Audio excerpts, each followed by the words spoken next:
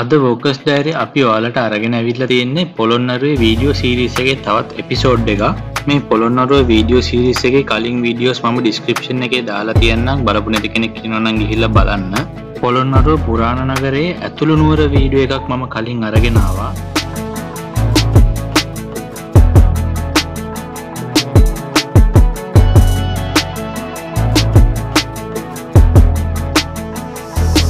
අද අපි බලන්න යන්නේ පිටත නුවර පිහිටලා තියෙන දළදා මළුව දළදා මළුව බලන්න යද්දී අපිට ඉස්සෙල්ලාම දකින්න ලැබෙන්නේ මෙන්න මේ ශිව දේවාලය. අපි ගිය දවසේ අලුත් වැඩියා කටයුත්තක් නිසා මේ ශිව දේවාලය බලන්න යන්න ලැබුණ නැහැ. ඒ නිසා අපි දළදා මළුව බලන්න කෙලින්ම ගියා.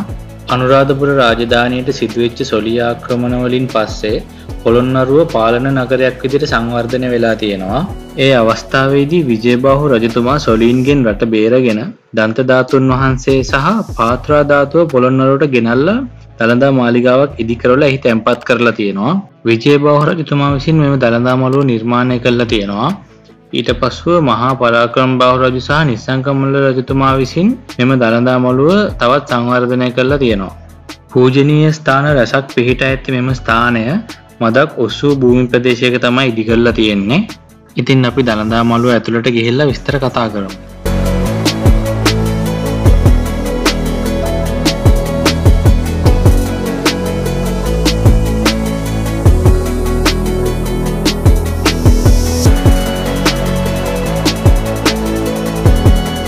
මේ දළදා මළුවට යන්න නැගෙනහිරින් සහ බටහිරින් පඩිපෙල් දෙකක් පිහිටලා තියෙනවා.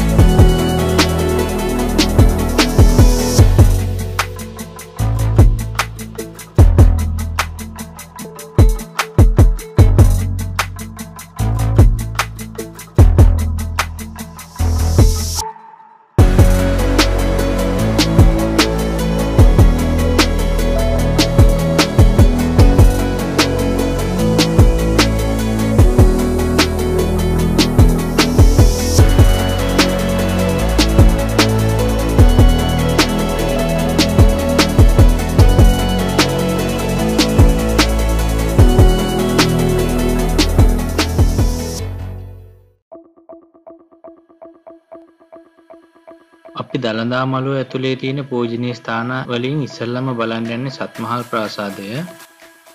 මේ සත්මහල් ප්‍රාසාදය දළදා මළුවේ ඊශාන දිශාවෙන් තමයි පිහිටලා තියෙන්නේ. සත්මහල් ප්‍රාසාදයේ එක් පැත්තක දිග අඩි 32යි අගල් දෙකක් ලෙස සඳහන් වෙනවා.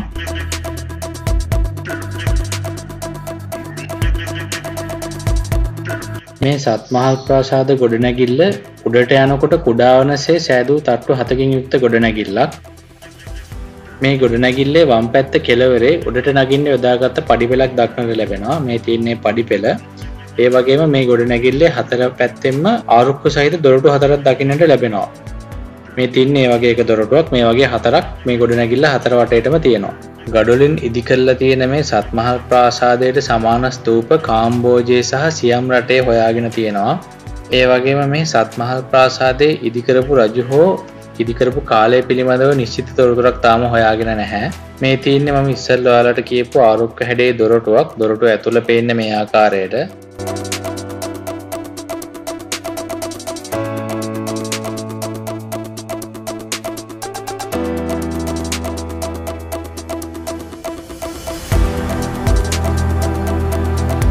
මම ඉස්සල්ල ඔයාලට කිව්වා කාම්බෝජයේත් මේ වගේ නිර්මාණයක් හොයාගෙන තියෙනවා කියලා පැරකුම්බා රජ්ජුරුවන්ගේ කාලේදී ලංකාවේ කාම්බෝජ සොල්දාදුවන් ඉඳලා තියෙන බවට ජනවහරක් තියෙනවා. ඉතින්නේ කාම්බෝජ සොල්දාදුවන්ගේ ආගමික වතාවත් ඉටු කරගන්න මේ සත්මහල් ප්‍රාසාදය හැදුව කියලත් ජනප්‍රවාදර සඳහන්න. මේ තියෙන්නේ පොහොය ගයක් හැටදාගයත් සත්මහල් පයත් අතර තමයි මේ පොහේගේ ගොඩ නැගිල්ල ඉති කරලා තියෙන්නේ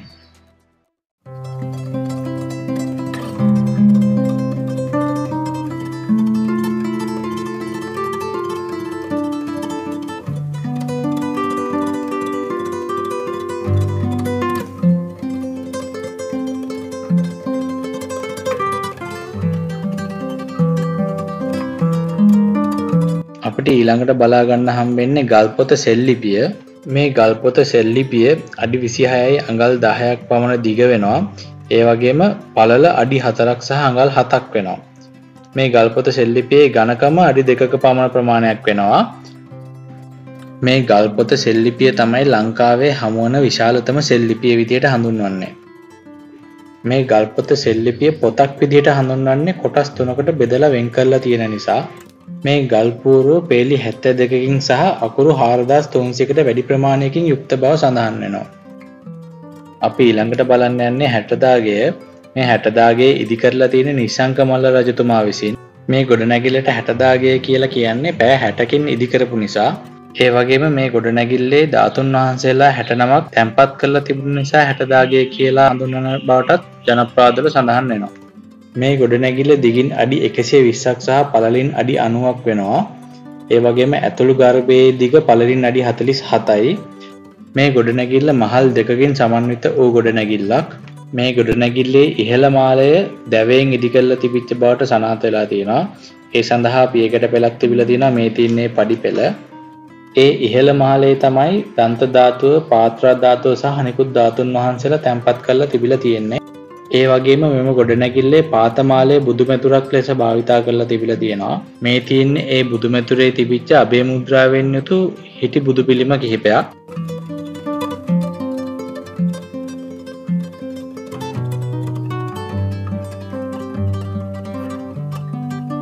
ඒ වගේම අඩි පහක් පමණ වන අලංකාර ජනල් හතරක් මේ ගොඩනැගිල්ලේ සිවදිශායම ඉදි කරලා තියෙනවා. මේ ගොඩනැගිලට පිවිසෙන දොරටුවේ නැටුමේයා ගැවුමෙහි යෙදෙන වාමන පෙළක් දකින්නට ලැබෙනවා. ඒ සියල්ලම සිතුවම් කොට තිබූ බවට සාධක හමු වෙලා තියෙනවා. ඒ වගේම ඉදිරිපස බුන් කලස් තැබූ එකම ගොඩනැගිල්ලද මේ විදිහට හඳුන්වනවා.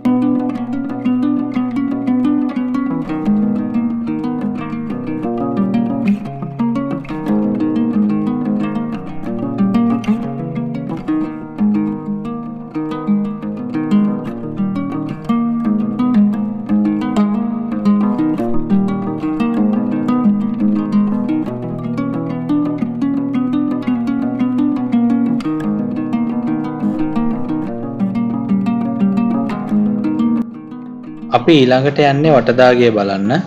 දළදා මළුවේ තියෙන ප්‍රධානතම ගොඩනැගිල්ල තමයි මේ වටදාගේ දාගැබ වට කරලා ඉදි කරලා තියෙන ගොඩනැගිල්ල නිසා තමයි මේ ගොඩනැගිලට වටදාගේ කියලා හඳුන්වන්නේ.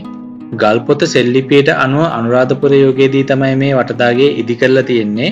ඒ වගේම නිසංක මල්ල රජතුමා විසින් ප්‍රතිසංස්කරණය කරපු බවට සඳහන් වෙනවා. විශ්කම්බය අඩි එකසේ විස්සක්ව වෘත්තාකාරව ඉදිකර ඇති මේ වටදාගේ මාලක දෙකකින් යුක්තයි මේ තියෙන්නේ වටදාගේ ඇතුළේ ඉදිකල තිබිච්ච ස්තූපය පසුකාලීනව ස්තූපය වටේට බුදු පිළිම මල්ලසුන් දොරටු ආදී එකතු වෙලා වර්තමානය මේ තින වටදාගේ ඉදිවෙලා තියෙනවා. මේ ස්තූපය වටේට බුදු පිළිම හතරක් තියෙනවා ඒ පිළිමවල ලක්ෂණ අනුව ඒ පිළිම මෙම ස්ථානයටම ආවෙනකූ පිළිම විදියට හඳුනාගෙන තියෙනවා. මේ වටදාගේ මාල දෙකෙහි වහලයක් ඉදිකිරීම සඳහා තිබුණු ගල්කනු දකිනට ලැබිල තියෙනවා. ඒ ගල්කනු පේලි දෙකින් දැනට එක් ගල්කනු පේලියයි දකිනට ලැබෙන්නේ. එක තියෙන පහළ මාලයේ මේ ගල්කනු පේලි දෙක මැද ගඩොලින් ඉදිකරන ලද බැම්මක් දකිනට ලැබෙනවා. ඒ ගඩොලින් කරන ලද බැම්ම මල්මෝස්තරවලින් අලංකාර කර තිබූ බවට සඳහන් වෙනවා. අපි දැම් මේ බහින්ඩ යන්නේ පාතමාලයට මේ පාතමාලයට බහින්න තියෙන පියගැට පෙළ අලංකාර සඳකට පහනල්වලින් මුරගල්වලින් සහ වාමනයන් දරා සිටින මකර වැටල්වලින් යුක්තයි.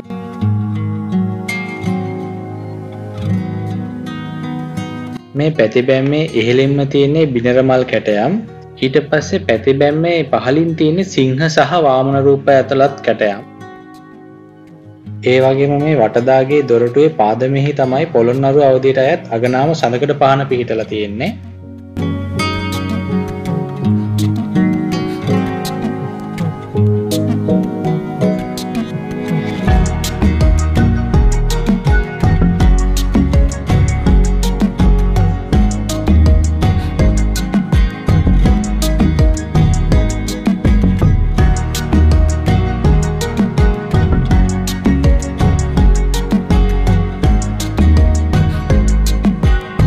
අපි ඊළඟට බලන්න යන්නේ අටදාගය. මේ අටදාගේ තමයි මහා විජයබාහු රජු විසින් ඉදිකරපු පළවෙනිම දළදා මාලිගය. මේ මාලිගාවේ තමයි දළදා වහන්සේ සහ පාත්‍රාධාන්තුන් වහන්සේ ඉස්සල්ලම තැන්පත් කරලා තිබිල තියෙන්නේ. මේ අටදාගයත් මහල් දෙකකින් සමන්විත වෙලා තිබිලා තියෙනවා. දෙවනි මහලේ තමයි ධාතුන් වහන්සේලා තැන්පත් කරලා තිබිලා තියෙන ඒ වගේම පාතමාලය ප්‍රතිමා මන්දිරයක්. මේ පාතමාලය තුළ ප්‍රතිමා තුනක් පිහිටලා තිබිලා තියෙනවා. මේ අටදාගේ දිගින් අඩි හැත්ත පහක් සහ පලලින් අඩි හතලිස් පහක් පමණ වෙනවා. මේ තියන්නේ අටදාගෙහි දෙවිනි මහලට යන්න තිබ පියගැට පෙළ මම ඉස්සල්ල යාලට කිව්ව මේ ප්‍රතිමා ගෘහේ පිළිම තුනක් තිබුණ කියලා. ඒත් දැන් ඉතුරලා තියෙන මේ පිළිමේ විතරයි. මේ පිළිමේ අඩි නවයක් පමණ උස වෙනවා. ධාතුන් වහන්සේලා අටනමක් තැන්පත් කර තිබීම හෝ දින අටකින් හෝ පැය අටකින් ඉදි කළ නිසා මෙම ගොඩනැගිල්ලට අටදාගේ යන නම යොදාගත්ත බවට ජනප්‍රාදවල සඳහන් වෙනවා. මේ ගොඩනැගිල්ලේ අලංකාර කැටයමින් යුතු ගල්කණු පන්තියක් තියෙනවා. ඒ ගල්කණු අතරින් ගල්කණු හැටක් පමණ දැනට ඉතුරුව තියෙනවා. ඒ ගල්කණු අතරින් කල්පලතා කැටේම සහිත ගල්කණු විශේෂත්වයක් දරනවා. මේ දකින්නට ලැබෙන්නේ කල්පලතා කැටේම සහිත ගල්කණුවක්. මේ ගොඩනැගිල්ල ඉදිරිපස තියෙන සඳකඩ පහනයි ගෞරූපය ඇතුළත් නිසා මේ ගොඩනැගිල්ල පොළොන්නරුවගේට පෙර ඉදිව්වක් ලෙස සලකනවා.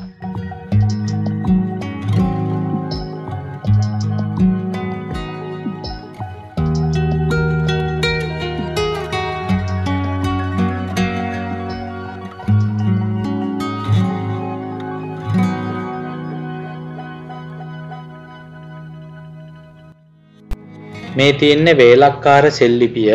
මේ සෙල්ලිපිය ලියවෙලා තියෙන ද්‍රවිඩ බසින් එහි සඳහන් ආකාරයට දන්තධාතුන් වහන්සේගේ ආරක්ෂාව සැපීම වේලක්කාර බටයින් හඳ බාර කර තිබූ බවත් ඒ සඳහා පැවැත් වූ ආගමික වතාවත් ආදිය පිළිබඳවත් මේ සඳහන් වෙනවා.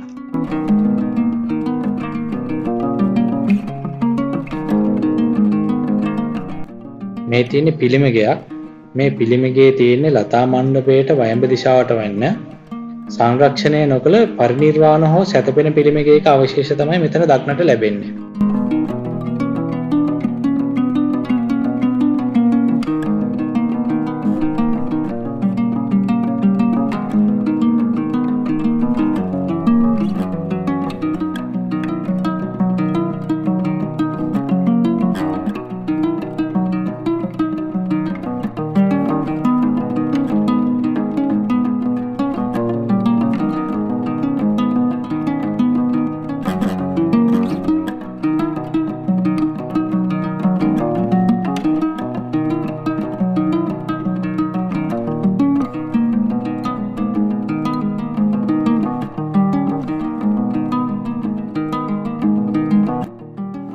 අපි ඊළඟට බලන්න යන නිශ්ශංකලතා මණ්ඩපය. මේ නිශ්ශංකලතා මණ්ඩපේ නිශ්ශංක මල්ල රජු විසින් ඉදි කරන ලද්දක් සෙල්ලිපිවල සඳහන් වෙන ආකාරයට නිශ්ශංක මල්ල රජුට පිරිත් ඇසීමටත් ඒ වගේම දළදා ප්‍රදර්ශනයටත් තමයි මේ නිශ්ශංකලතා මණ්ඩපේ ඉදි කරලා තියෙන්නේ.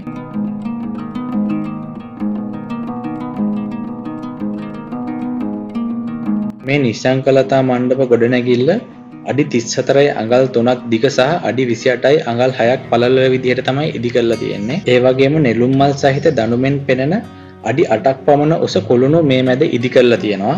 ඒ වගේම නිසංකලතා මණ්ඩපය මැද ස්තූපයක ආකෘතියක් ඉදි කරලා තියෙනවා. මේ කුඩා ස්තූපය මත දන්තධාතුන් වහන්සේ තබන්නට ඇතැයි විශ්වාස කෙරෙනවා. ඒ වගේම නිසංකලතා මණ්ඩපය වටේට ගලින් ඉදි කරන ලද ගරාදි වැටකුත් දකින්නට ලැබෙනවා.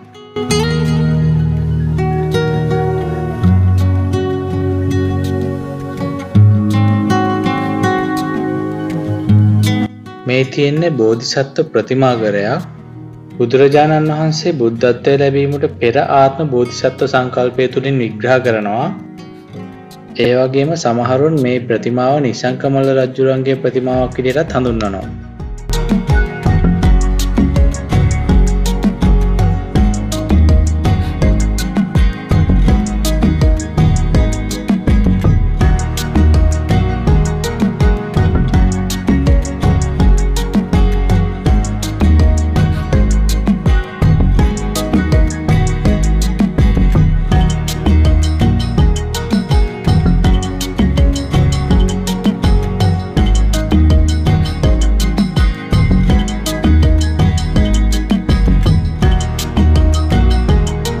මේ තියෙන්නේ බෝධිකරයක් බෝධීන් වහන්සේලාගේ ගෞරවය ආරක්ෂාව සැලසීම සඳහා තමයි මේ වගේ බෝධිකර ඉදි කරන්නේ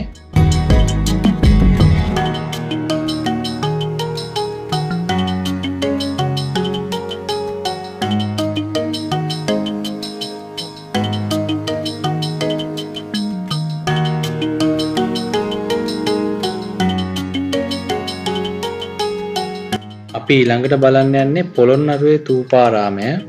දළදා මළුවේ වම් කෙලවර තමයි මේ තූපාරාමය පිහිටලා තියෙන්නේ. පොළොන්නරු යුගයට අයත් ප්‍රතිමා මන්දිරවල වහලයගෙන අධ්‍යයනය කරන්නන් සඳහා ශේෂව පවතින එකම වහලය පිහිටා තිබෙන්න මේ තූපාරාමේ ගෙඩිගේ ක්‍රමේ විහාරයක් වන මේ විහාරයේ බිත්ති වගේම වහලේද ගඩොලින් තමයි ඉදිකල්ලා තියෙන්නේ. මේ ගොඩනැගිල්ල අවුරුදු නවසීයක් විතර පරණුනත් මේ වෙනකම්ම හොඳින් ආරක්ෂාලා තියෙනවා. මේ ගොඩනැගිල්ලේ දිග අඩි අසූ හතරයි අඟල් හයක් පලල අඩි පනස්සය අඟල් දෙකක් සහ උස අඩි හතලිස් හතරකින්ද සමන්විත වෙනවා. ආරුක්කු සහිත දොරකින් තමයි මේ තූපාරාමයට ඇතුල් වෙන්න ඕනේ. ඒ වගේම මැද තියෙන දොර ළඟ උඩ තට්ටුවට නගින්න පාවිච්චි කරපු පඩිපෙළක නටමුන් තියෙනවා. ඒ වගේම මේ ගොඩනැගිල්ලේ බිත්ති අඩි හතක් පමණ ගණකමයි ඒ නිසා තමා මේ ගොඩනැගිල්ල ඇතුළේ ඉඩ අඩුකමක් පේන්න තියෙන්නේ. මේ ගොඩනැගිල්ලේ පිළිමගේ තුළ ගඩොලින් ඉදිකරන ලද හිඳි පිළිමයක් තිබිල තියෙනවා. ඒ පිළිමේ නේත්‍ර මැනික්ගල් ඔබ්බෝල තමයි ඉදිකල්ල තිබිල තියෙන්නේ. ඒ වගේම තවත් විශේෂත්වයක් තියෙනවා. මේ විහාරයට ආලෝකය පැමිණීමට සකස් කරලා තියෙන ජනෙල් වලින් පිවරැස් කෙලින්ම වැටෙන්නේ බුදුරජාණන් වහන්සේගේ පිළිමේ නේත්‍රාවලට. ඒ නේත්‍රාවල මැනික්ගල් ඔබ්බෝලා තිබුණ නිසා ඒ මැනික්ගල් හරහා ආලෝකය පතිත වෙලා මේ විහාරය ආලෝකමත් වෙලා තියෙනවා. තවත් විශේෂත්වයක් විදිහට මේ රූපාරාමයේ පිටත බිත්තිවල විමාන රූප හා කැටයම් දක්නට ලැබෙනවා. ඉතිං අදට අපි අපේ මේ බ්ලොග් එක ඉවර කරන්න තමයි හදන්නේ මේ වගේ තවත් වැදගත් වීඩියෝස් බලන්න ඕන්නම් යාලා අපේ YouTube චැනල් එක සබස්ක්‍රයිබ් කරලා තියාගන්න ඒ වගේම එහා පැත්තේ තියෙන බෙල් අයිකන් එකත් ක්ලික් කරලා නොටිෆිකේෂන් එක ඔයාලා ළඟටම ගෙන්න ගන්න. ඒ වගේම අපේ මේ වීඩියෝ එක ඔයාලගේ යාළුවන්ටත් බලන්න ෂෙයා කරන්න. මොන හරි ගැටලුවක් තියෙනවා නම් පල්ලෙහා කමෙන්ට් සෙක්ෂන් එකේ කමෙන්ට් කරන්න. ඒ වගේම ලයික් කරන්න. මේ වගේම තවත් ලස්සන බ්ලොග් එකකින් අපි නැවතත් හමු වෙමු.